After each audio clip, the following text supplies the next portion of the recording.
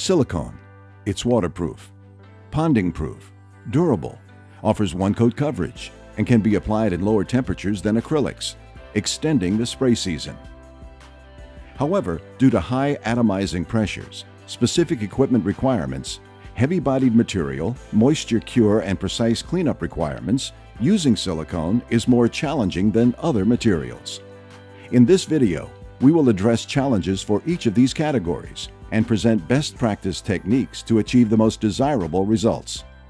We will also discuss spray equipment, since spraying is the preferred method of application due to dramatically faster application compared to rollers or squeegees.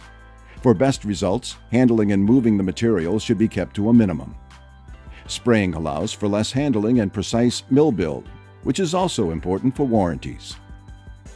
Silicone is moisture cure. As soon as the material makes contact with the moisture in the air, it will begin the curing process.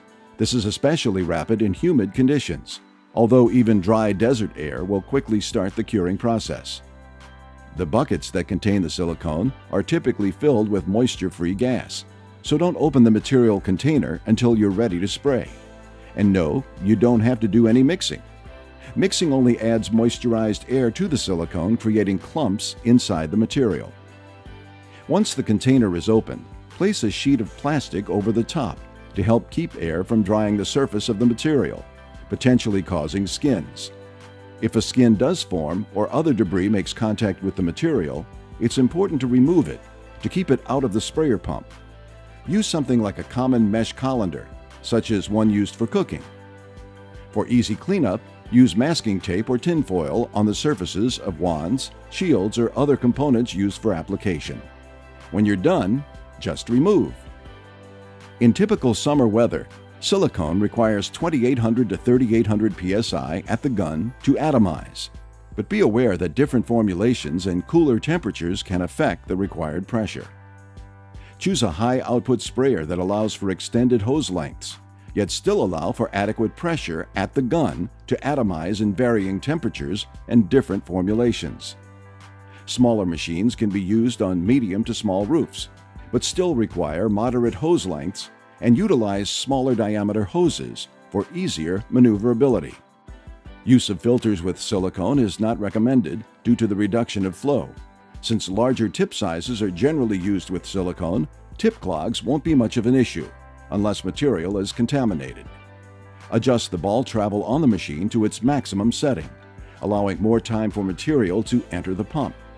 This will help eliminate dry stroking the pump, resulting in pump damage. There are several things you can do to help eliminate material contamination.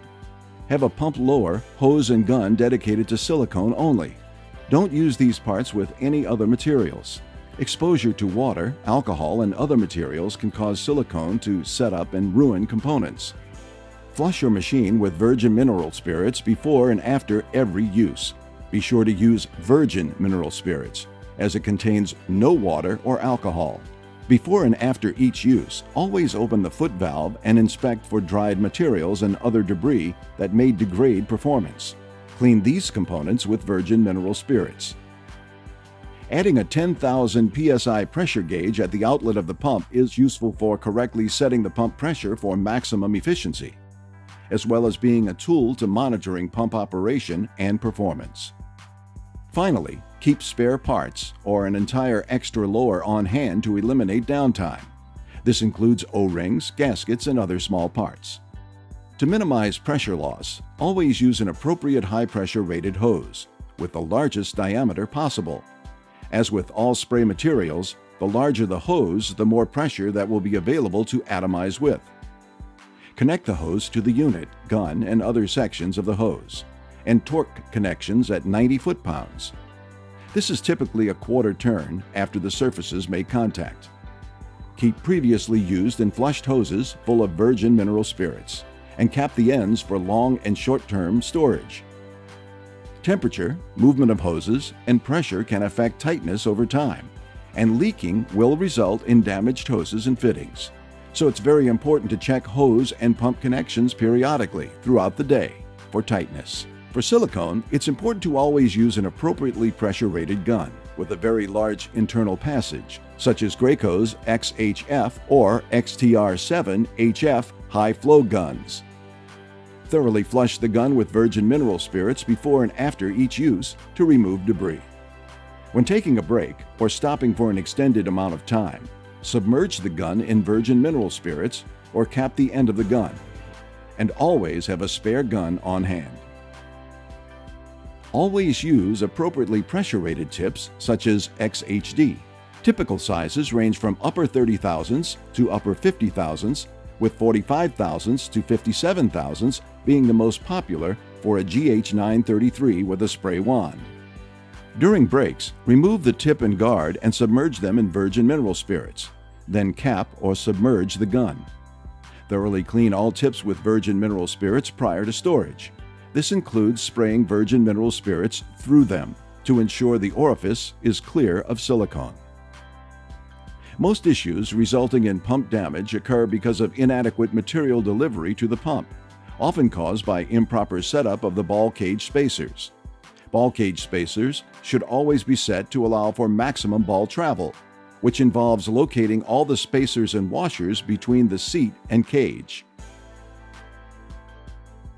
Once ball travel is set, it is important to continue to feed the pump with an adequate supply of material. The best method is with a feed pump, such as the Monarch 5 to 1. This system also has the advantage of keeping the material sealed throughout the use. The second best method for delivering material is a hopper. Hoppers provide a good amount of head pressure that allows material to easily flow to the pump.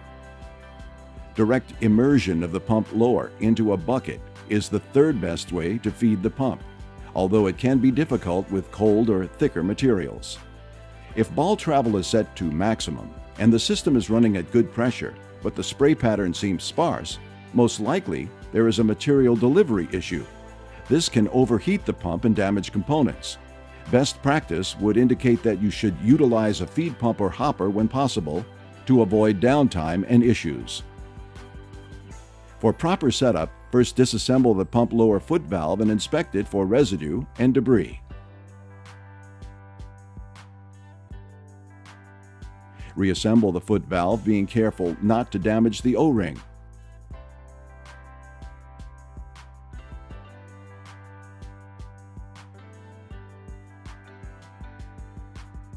Uncap the stored hose sections and attach them to the unit. Ensure proper torque but don't attach the gun yet.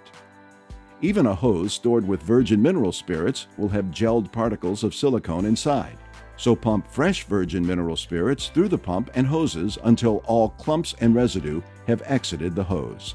Now, attach the gun and pump virgin mineral spirits through the entire system and gun. Load material and pump out any remaining mineral spirits until material reaches the gun. You're now ready to spray always spray at the lowest pressure possible while achieving a desired spray pattern. This will not only allow for maximum hose lengths, but will also limit overspray and extend your sprayer's pump life. For maximum productivity, utilize spray wands and tips with large orifices and wide spray patterns. For the best coverage and most precise mil build, spray in multiple layers and crosshatch, always overlapping each pass by 50%. If your preference is to roll, use a low overspray spray roller, such as a Graco heavy duty jet roller. This is especially helpful in windy conditions, when typical spraying would be impractical. On larger jobs, utilize an assistant to help manage the hose and keep things moving faster. When you've finished spraying for the day or the project, the silicone material must be protected from air or moisture exposure as much as possible completely cover and seal the material container. The nice thing about silicone is that at most it will only set up the top one and a half inches of material when exposed to air. This can simply be peeled away to expose fresh material below. Extensions and tips should be flushed clean with virgin mineral spirits, preferably with a dedicated small airless sprayer dedicated to pumping mineral spirits for cleaning. Clean the gun exterior and cap outlet or keep it all submerged in mineral spirits until spraying is resumed. Some prefer to leave a tiny amount of pressure in the system, a couple hundred pounds or less.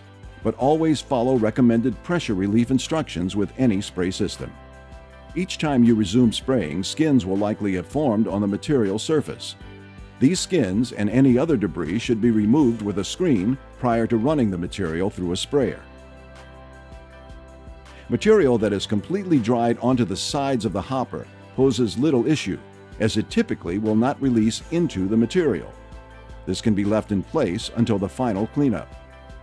Add the extension and tip assembly back to the gun, turn on the sprayer, and resume spraying.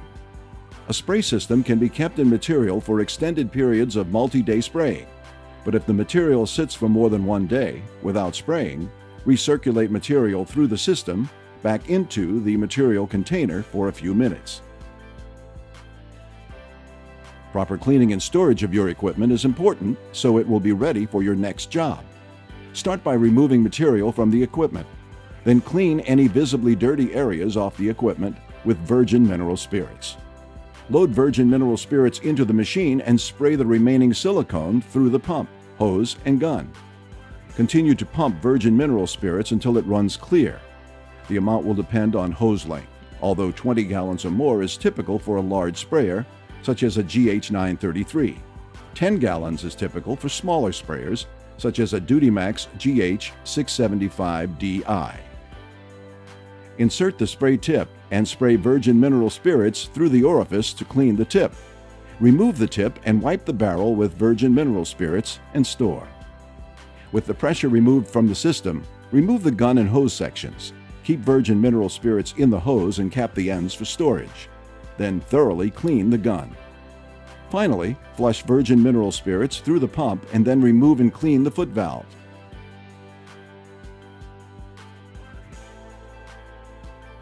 Carefully reassemble.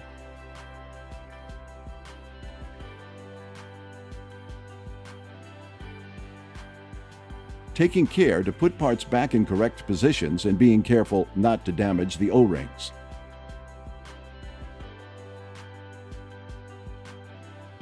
load the pump with virgin mineral spirits, and store.